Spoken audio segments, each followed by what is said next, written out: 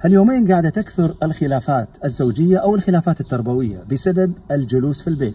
هو الظاهر بعض العائلات مو متعودة تجتمع مع بعض فترة طويلة. وتعرفون الظرف اللي قاعد نعيش فيه؟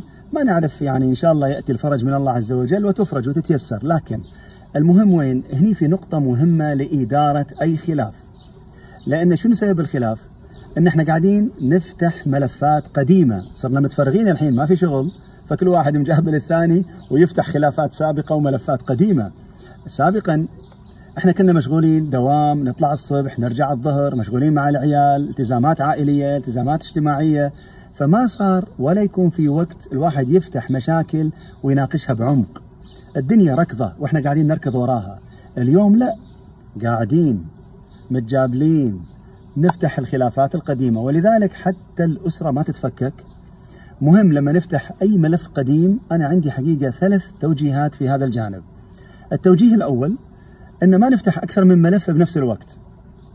ماني نفتح مشكلة ومشكلتين وثلاث ونفتح كل الملفات في هالحالة. العلاقة راح تتوتر راح تتأزم وراح يصير خلاف للأسرة وهم داخل البيت.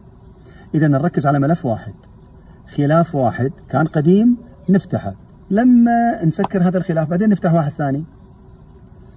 النقطة الثانية المهمة لما نفتح الملف وني نتناقش لا تتوقعون راح نوصل للحل بجلسة واحدة.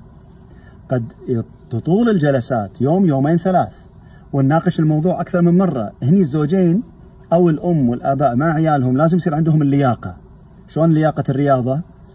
الواحد يدرب نفسه. نفس الشيء إحنا عندنا لياقة تربوية لياقة زوجية. نحتاج هذه اللياقة نقعد مرة مرتين ثلاث ونناقش الملف مرة مرتين ثلاث. لما ننتهي منه. إذا انتهينا منه نفتح الملف الثاني. التوجيه الثالث وهو مهم جدا في قضية فتح الملفات إن إحنا لازم يصير في اتفاق في البداية وإحنا نناقش القضية إنه مو بالضرورة إني أنا ألتزم برأيك أو أنت تلتزم برأيي. قد يكون الحل إن نوصل لرأي بين الرأيين. وهذه نقطة لو قدرنا نوصل لها حقيقة راح تنحل جميع خلافاتنا ومشاكلنا. الشيء الأخير الاستعانة بالله عز وجل كثرة الذكر والدعاء والإستغفار. لا شك أن هذه أمور ترطب القلب وتسهل العلاقة وتكون فعلا العلاقة علاقة يعني مستقرة وسعيدة. فهذه أربع نصائح لكم في هذه الأيام في كيف تكون أسرتنا مستقرة.